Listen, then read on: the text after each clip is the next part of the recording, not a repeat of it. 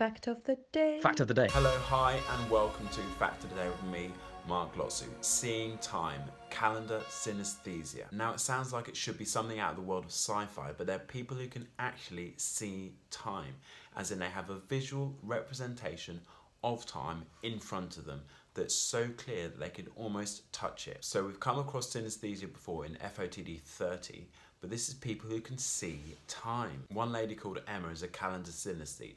She doesn't have a vague representation of time as we have. She sees it so clearly, it's actually visually in front of her. For her, the 31st of December is anchored strongly to her chest, and the rest of the year goes out in a one meter circle hula hoop in front of her body. So the 31st of December is the only time in the entire year when her mental perception, her mental concept of time lines up with her physical body, because that's when it's anchored into her chest, and the rest of it goes all the way out and back around again. For another woman, Heidi, her concept of time is a backwards C that's right in front of her. At one extreme of the C, you've got January, and at the other extreme of the C, you've got December. And she also has a separate hoop for the days of the week as well. And this has been part of them as far back as they can remember, as in they've always had this. Now, people's perception of time varies, and there's also cultural change as well. Mostly in the West, we see time as we have the past behind us, the present here, and the future in front of us. It's a straight line. In some parts of Papua New Guinea,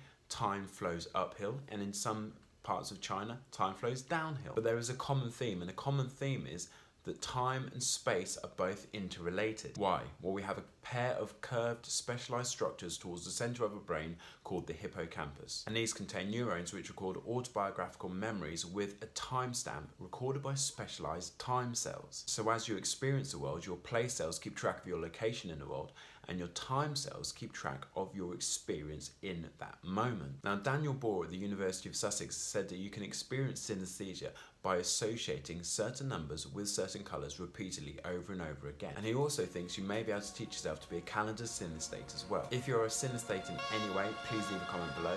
That is Seeing Time, Calendar Synesthesia. Thanks for watching. Love you, bye, love you, bye, love you, bye.